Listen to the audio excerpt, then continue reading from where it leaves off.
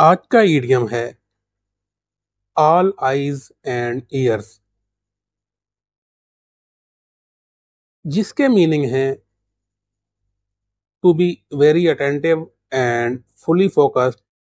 on what someone is saying or doing اور listening and watching eagerly and carefully جس کا اردو میں مطلب ہے پوری توجہ سے سننا اور دیکھنا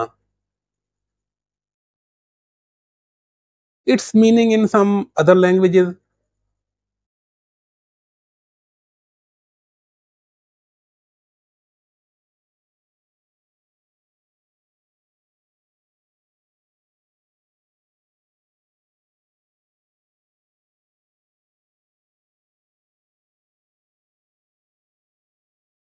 کے